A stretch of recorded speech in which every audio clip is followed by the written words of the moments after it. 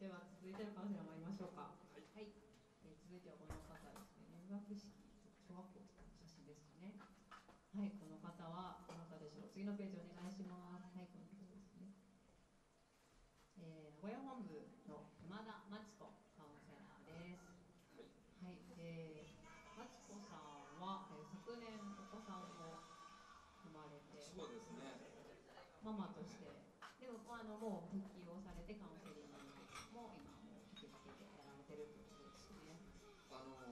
書を見させていただいた時に、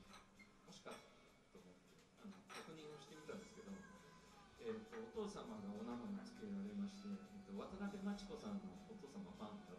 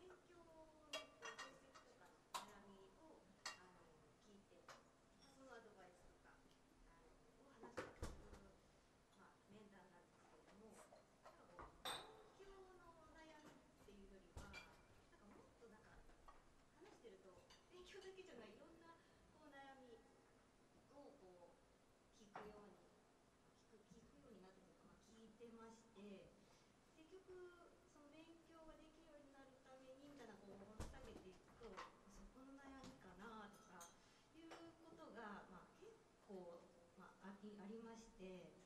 あなんか今の私では、まあ、その時は結婚もしませんでしたし子供もいませんでした。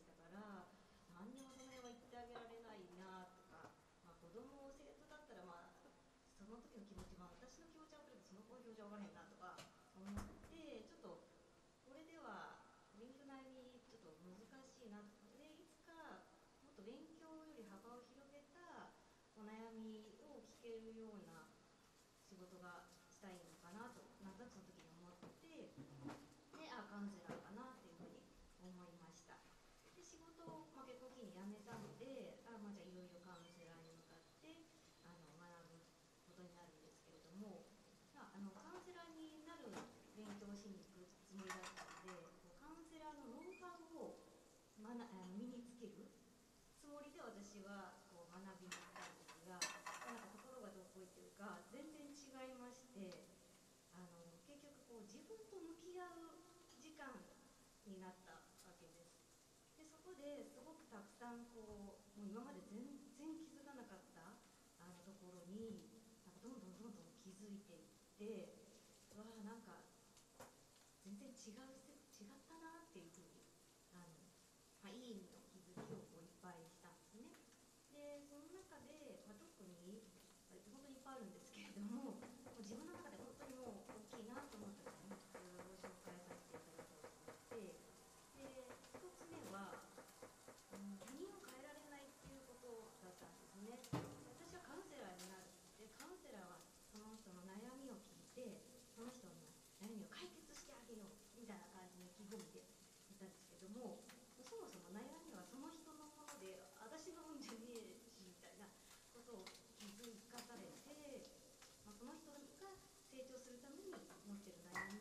大事なのよ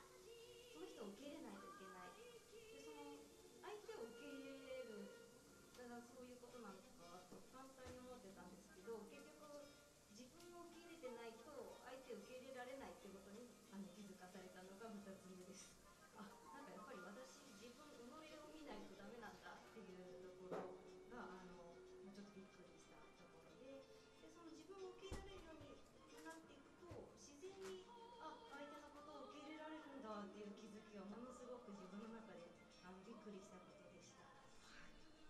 で3つ目最後の3つ目は話をま聞くっていうことなんですけど私結構聞き上手だとそれまでの面談もいっぱいしてるしあの聞き上手な方だと思ってたんですけど全然聞けてないことに気づいてっていうのはあの、まあ、話を聞くっていうのは相手を尊重しながら聞く、まあ、ちょっと具体的に言うと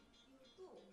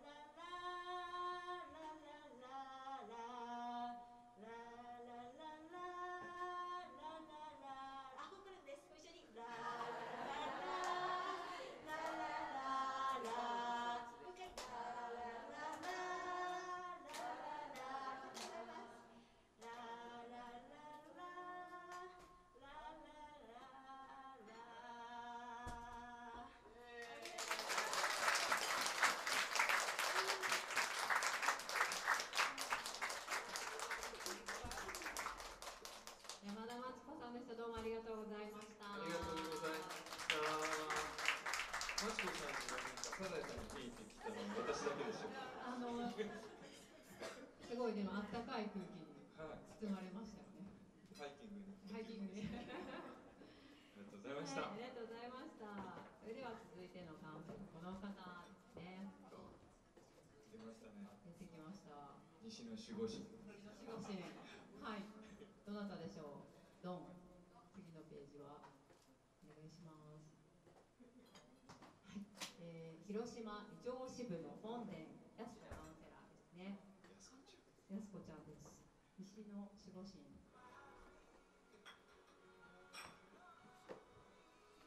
やすこさんはお上品ですね。いつも品格がある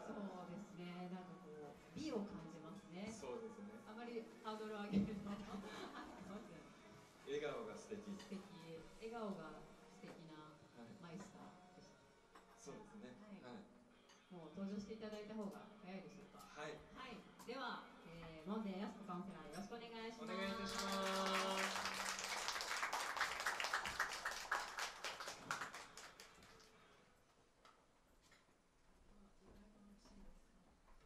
皆さんこんばんは。はじめまして。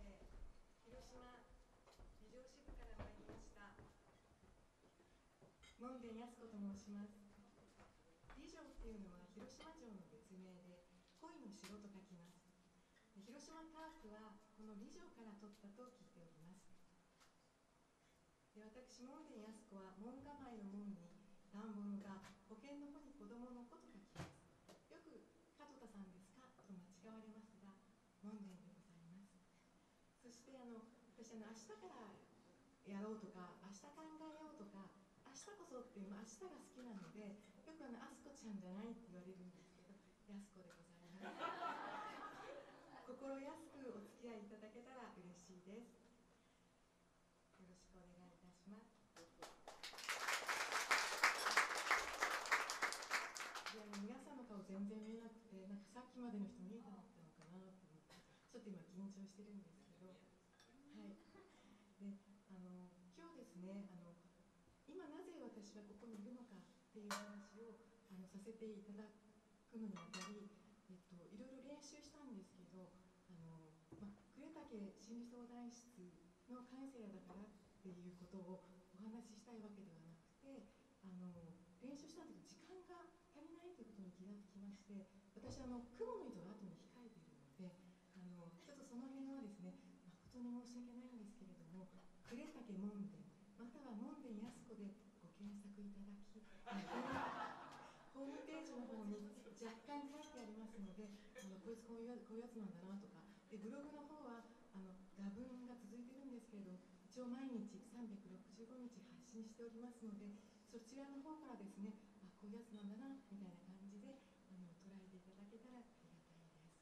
であのスライドの方にカウンセラーになったのは使命というふうに2文字でまとめさせていただいたんですけれどももしかしたら運命かもしれないし宿命かもしれないと自分ではあの、ま、自己満足なんですけどけ取っていますそしてこれも天命かなとあの今ここに立って改めて感じていますであの私はあの小さい時から人の顔っていうか顔表情だったりあとあの言葉の抑揚だったり表現っていうのにすごく関心を持って見ていてで例えばあの A さんはここではこういう表現をするんだけど違うところではこんな顔をしてこんなこと話すとかそれはなぜなんだろうとかっていうのがもしなぜっていうのここにあったらいつかそれがこうあこういう流れでったんだっていう謎解きをするのがなんか好きなことなんでした。であの人間っていうか人のことがあの大好きで私も控えめでちょっと距離を取るタイプなんですけどあの大好きですごく関心を持っていて例えばここに来るまでの地下鉄の地下鉄に乗っている人の目の前に立っている人はどうしてそういうポーズなんだろうとかそんな風にすぐあの思ってしまってであの今日これから読ませていただく「あの雲の糸は」あの芥川龍之介があの短編で皆さんよくご存知なんですけどあのすごく簡単な表現を使っているんだけれども毎回毎回なんか違う感じを受けていて10代の頃に読んだ時読んだ時とそして20代の時に読んだ時とそしてこのあの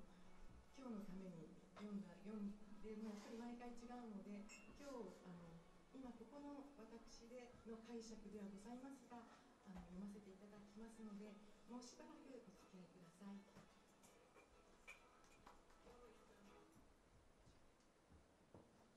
芥川龍之介作「雲の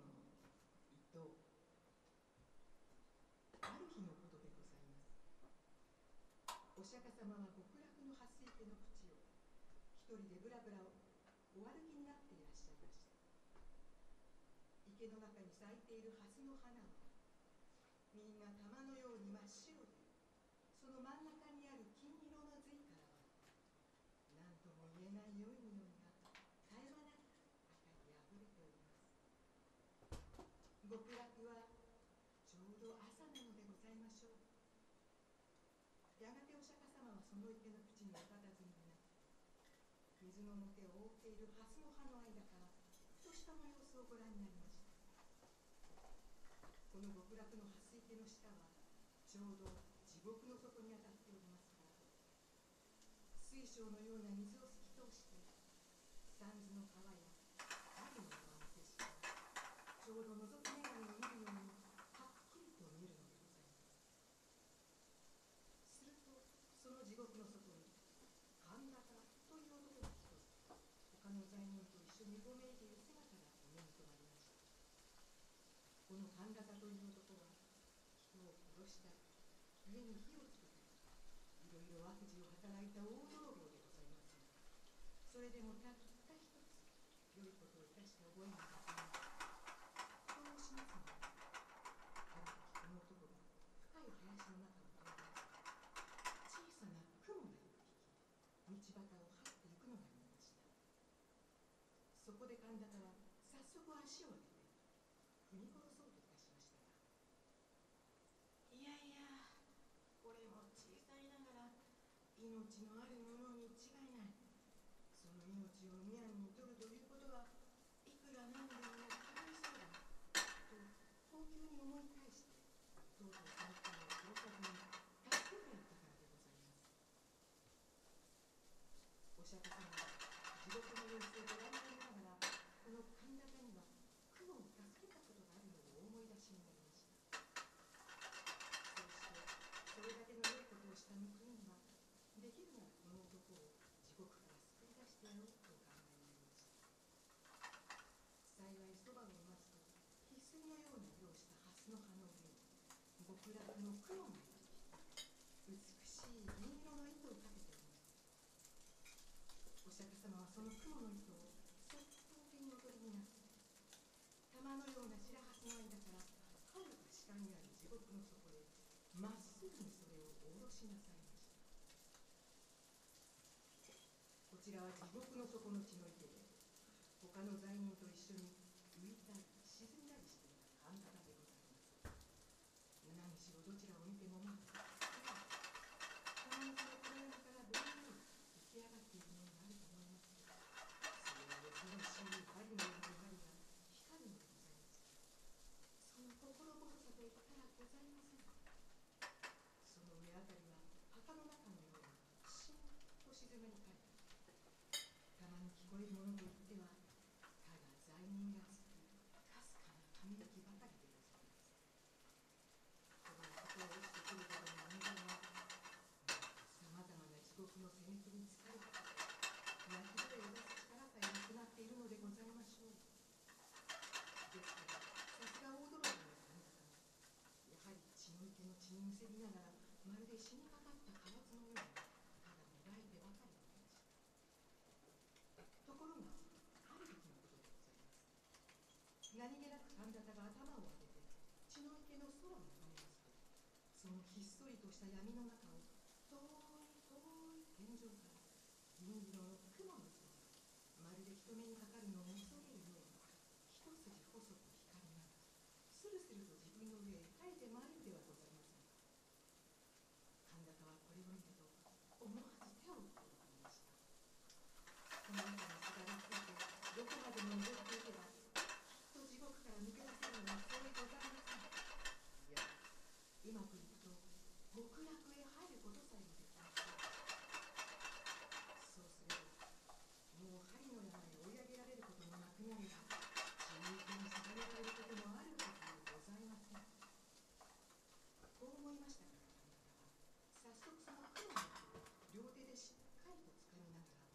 生懸命に上へ上へと手繰り登り始めましたもとより大泥棒のことでございますからこういうことには昔から慣れきっているのでございますしかし地獄との間は何万里となくございますからいくら焦ってみたところで容易に上へは出られませんややしばらく登るうちにとうとう神田もくたびれてもうひとたぐりも上の方へは登れなくなってしまいましたそこで仕方がございませんからまず一休み休むつもりで糸の中途にぶら下がりながらはるかに目の下を見下しましたすると一生懸命に登った甲斐があってさっきまで自分がいた血の池は今ではもう闇の底にいつの間にか隠れていますそれからあのぼんやり光っている。恐ろしい針のようなもの足の下になってしまいましたこの分で登っていけば地獄から抜け出すのもそんなにわけがないかもしれません神田は両手を雲の糸に絡みながらここへ来てから何年にも出したことのない声で「しめたしめた」と笑いましたところがふと気がつきますと雲の板の下の方には数限りもない罪人たちが自分の登った後をつけてまるでアリの行列のようにやはり上へ上へ一心によじ登ってくるではございませんか。神田はこれを見ると驚いたのと恐ろしいのとでしばらくはただバカのように大きな口を開いたまま目ばかりを動かしていました自分一人でさえ切れそうなこの細い雲の糸どうしてあれだけの人数の重みに耐えることができましょう。もし万一途中で切れたといたしましたらせっかくここへまで登ってきたこの肝心な自分までも元の地獄へ逆落としに落ちてしまわなりませんそんなことがあったら大変でございます。がそういううちにも罪人たちは何百となく何千となく真っ暗な血の池の底からうようよと這い上がって細く光っている雲の糸を一列になりながらせっせと登ってまいります。今のうちにどうかしなければ糸は真ん中から二つに切れて落ちてしまうのに違いありませんそこで神田は大きな声を出して「こら罪人どもこの雲の糸は俺のものだぞお前たちは一体誰に聞いて登ってきた降りろ降りろと招きましたその途端でございます今まで何ともなかった雲の糸が急に神田のぶら下がっているところからぷつりと音を立てて切れました。ですから神田もたまりません。あっという間もなく風を切って駒のようにくるくる回りながらみるみるうちに闇の底へ真っ逆さまに落ちてしまいました。後にはただ極楽の雲の糸がキラキラと細く光りながら月も星もない空の中途に短く垂れているばかりでございますお釈迦様は極楽の八世紀の淵にこの一部始終をじっと見ていらっしゃいましたやがて神田が血の池の底へ石のように沈んでしまいます悲しそうなお顔なさりながらまたぐらぐら悪くなり始めました自分ばかり地獄から抜け出そうとする神田の無慈悲な心がそうしてその心を相当な罰を受けて元の地獄へ落ちてしまったのがお釈迦様の目から見ると浅ましくお示されたのでございましょう。しかし極楽の八世紀のハスは少しもそんなことには頓着いたしません。その玉のような白い花はお釈迦様のおみ足の周りにゆらゆら腕名を動かしてその真ん中にある金色の髄からは何とも言えない良い匂いが絶え間なく辺りへあふれております極楽ももう昼に近くなったのでございましょう。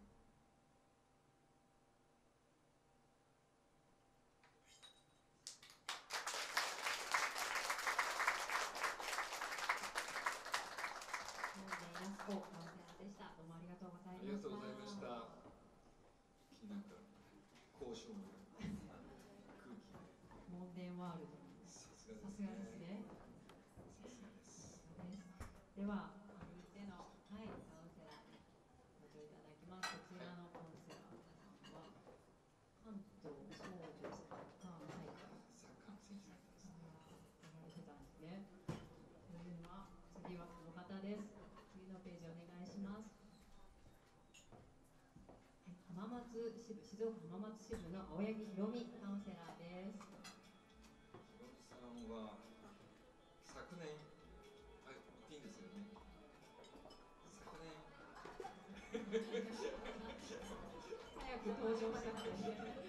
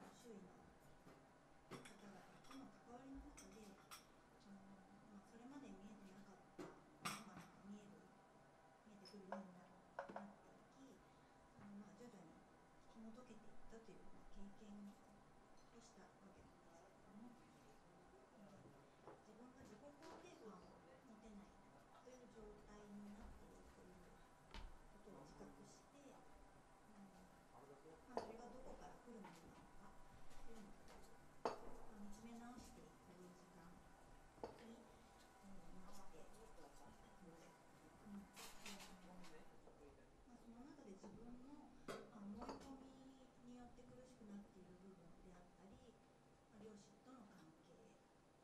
あとはあの、まあ、世代を超えてこう連鎖していくこととか、まあ、そういうこととか、うん、いろいろな部分で腑に落ちるものがありました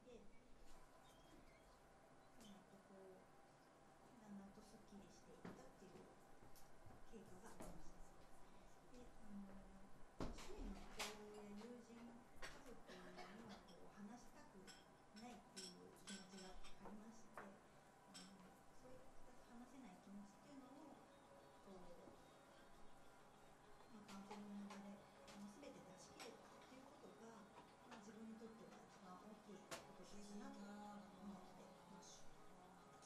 いろいろな気づきや捉え直しのあの時期を経まして、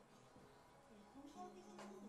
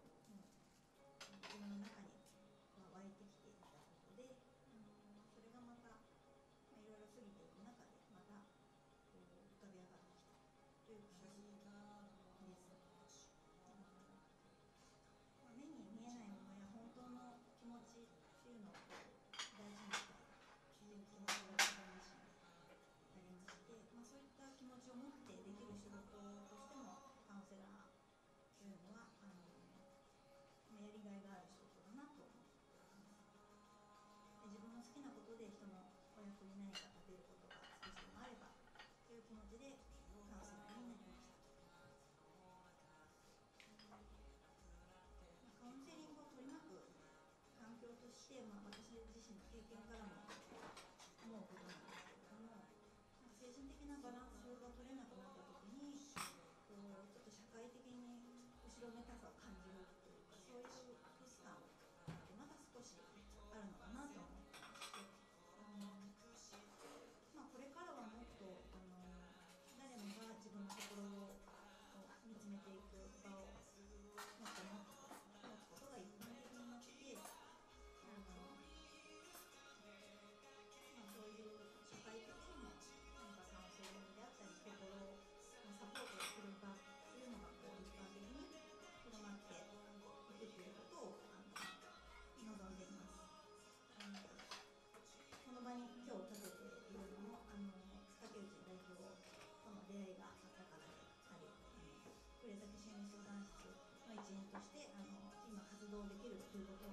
も嬉しく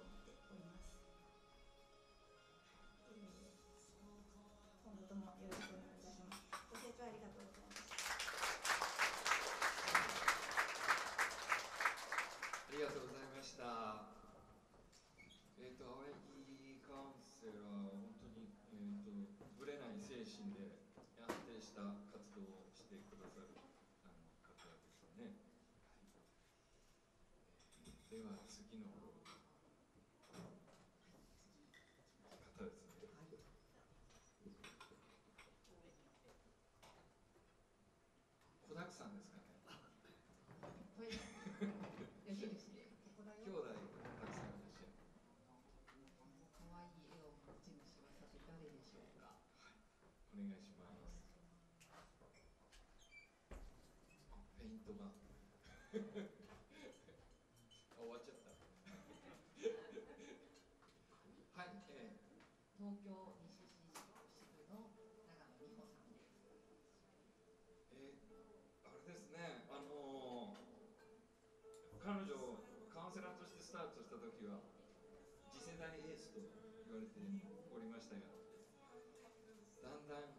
円熟味も増してきまして、えーとても安心して仕事を、はい、任せられる存在になったなっていうところがあります。そして、えー、と事務局長としてもね、今活動をしていただいております。えーウェブにも詳し詳しくて、まあ、なんていうんですかね、パーフェクト、いろんなことがパーフェクトに感じてしまうんですけど、何もできないとしてね、はい、私もだいぶ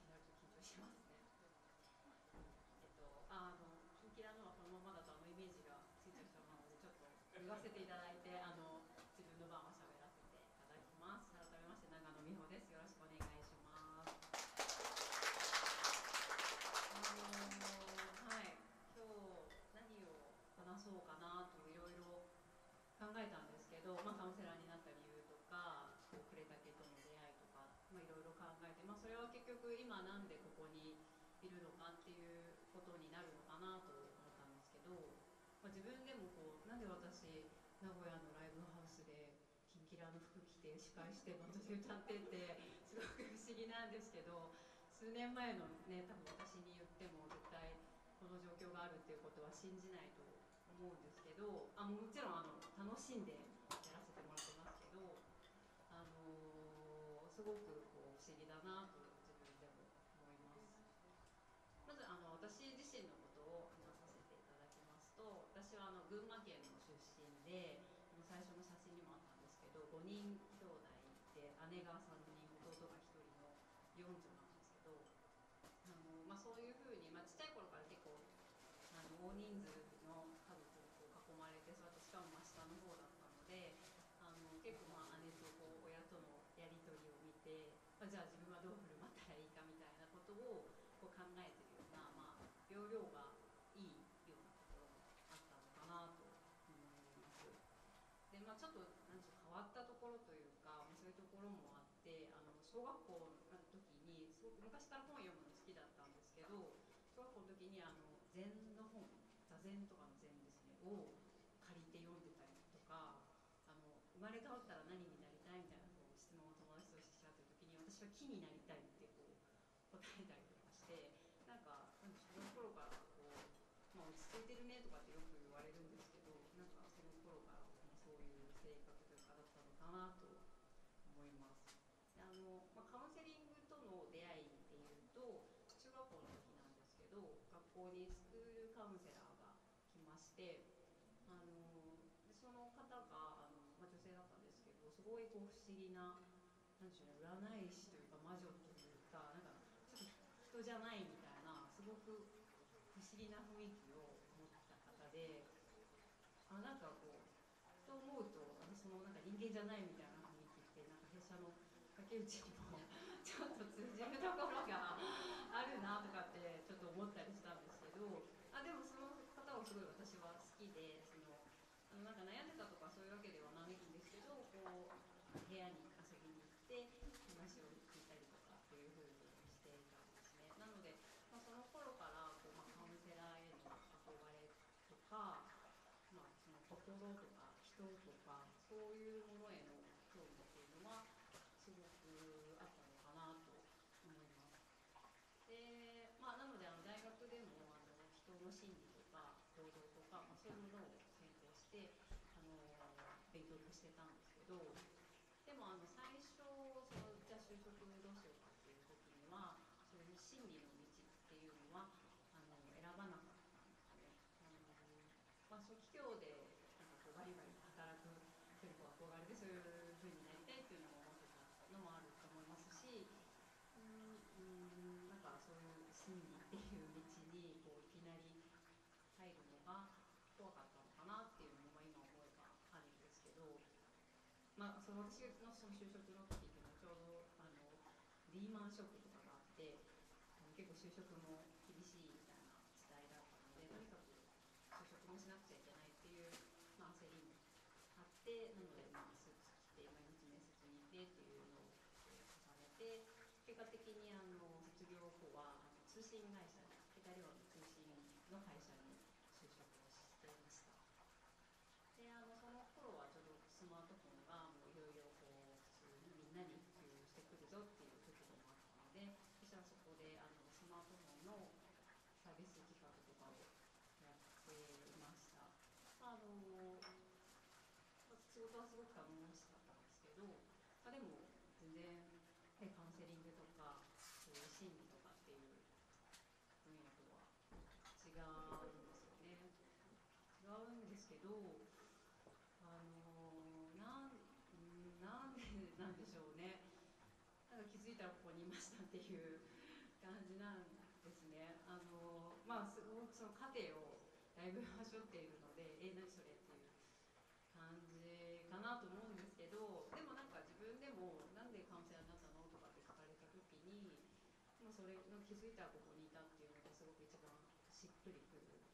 答えかなと思います。あのうんもちろんそのまあ会社に勤めていた時にどこかでこう決断した瞬間があってあの、まあ、それを受け入れてくれる人もいてじゃあもう会社を辞めて、えーカウンセリングの学校に通って勉強をしてっていうふうにこうその時その時のこう選択と決断っていうのを積み重ねてきた結果あの今ここにいます。でもあのなんかこうカウンセラーになりたいとかなるぞと思ってあの全速力でこう走ってきたとかうんなんかすごくこう衝撃的な出来事があってそこにこう突き動かされてあのカウンセラーになったとかそういう道のりではなかったかなというそういう過程を踏む人が特にまあカウンセのかも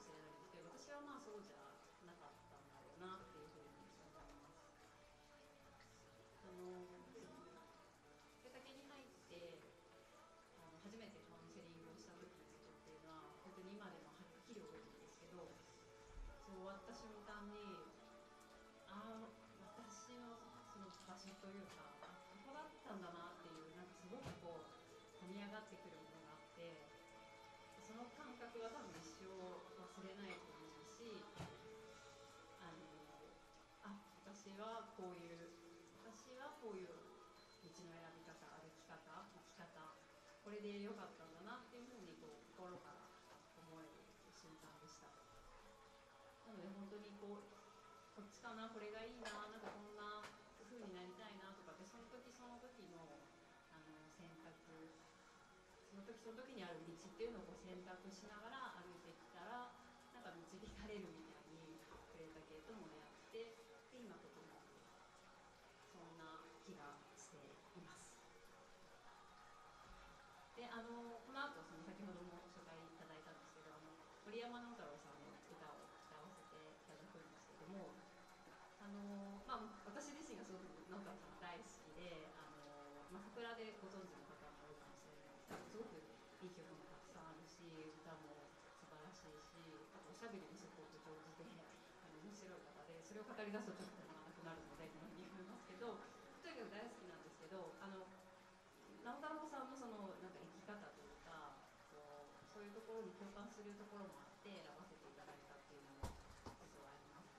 彼はあのご存知の方も多いかもしれませんけど母親もあの音楽一家に育ったんですけど子供の頃は全然音楽やろうとしなくて、まあ、サッカーをずっとやってて、まあ、プロになりたいと思うぐらいずっとサッカーに夢中だったんですけどでもなんかある時こう学生時代にあの友人とこう何かこう曲を作るきっかけっていうのがあってそれがなんかこう楽しくて今もその原点のままに続けてるんだけどでもなんで自分がこう歌い始めたのかっていうのはなんかわからないっていうふうに答えていてまあそれはこう傍から見たら使命だったのかもしれないしあのねそういう彼がその運命だったのかもしれないと思うんですけど、まあ、でもそういう気負いとかが全然彼にはなくてなんかひょうひょうとこう淡々とでも確実にその道を行くっていうことは決めているっていうそういう生き方がなんかいいなと思うし、まあ、そんなねあの選び方もあるよねっていうあの気持ちも込めて今回選ばせていただきました。はい、ということであのウクレレ弾き語りでまた楽曲を歌わせていただきたいと思います。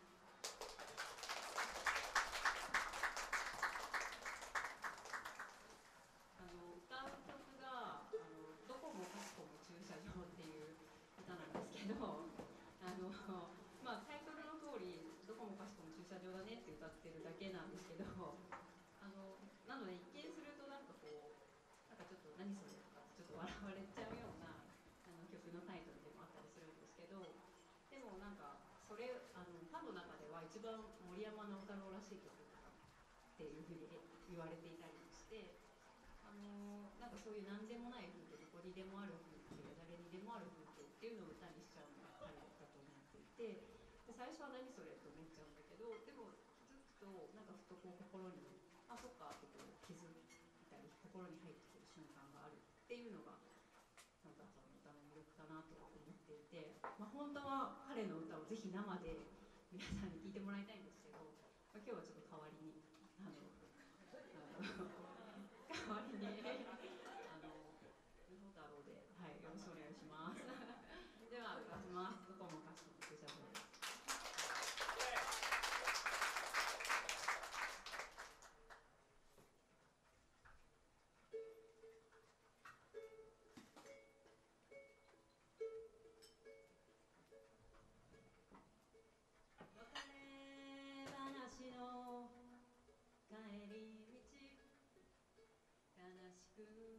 なんてなかったよ。振られた方は僕なのに泣いていたのは君の方。どこもかしこも駐車場。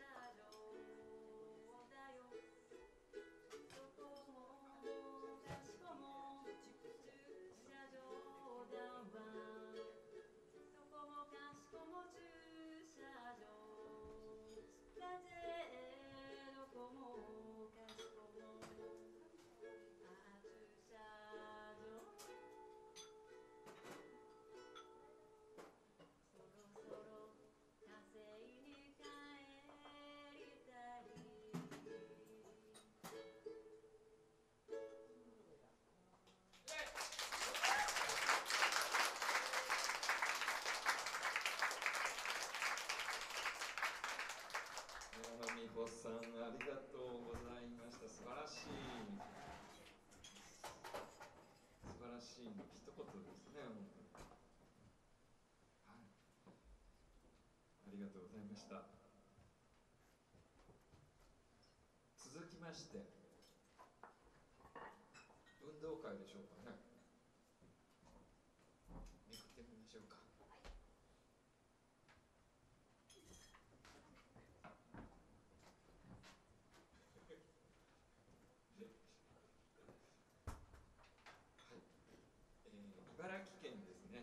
福祉部井上美希さん。茨城からそうですね。一番遠い。埼玉埼玉えー、っとね井上さん美希さんはですねあのー、とても優しいお顔立ちをされていらっしゃるんですがあのー、面接に来られた時にその目力というか吸い込まれそうになった記憶がございます。であのそれは、えー、カウンセラーになるなんか決意みたいなものが心から出ていた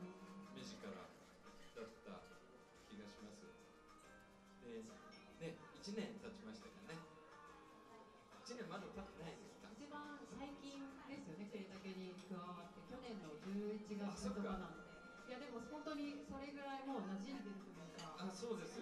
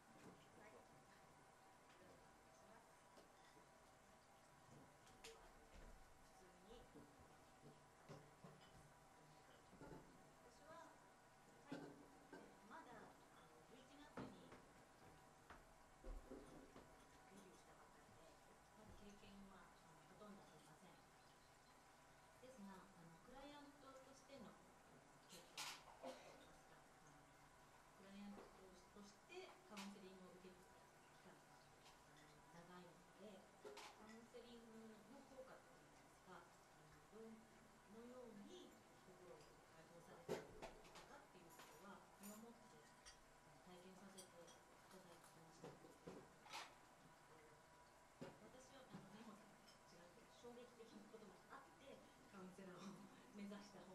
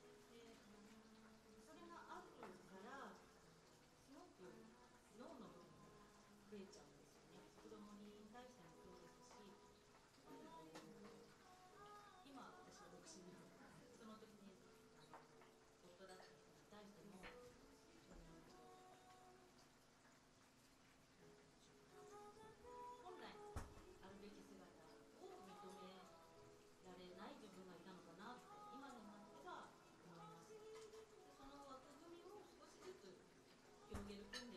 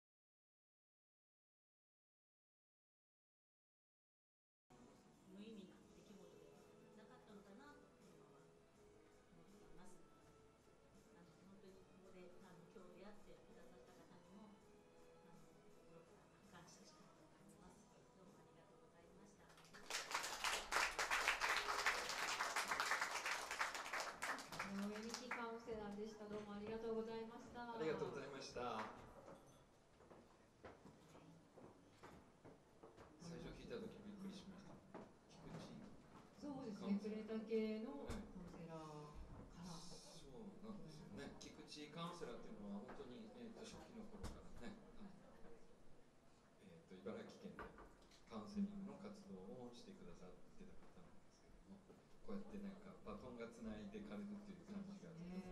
嬉しいなと。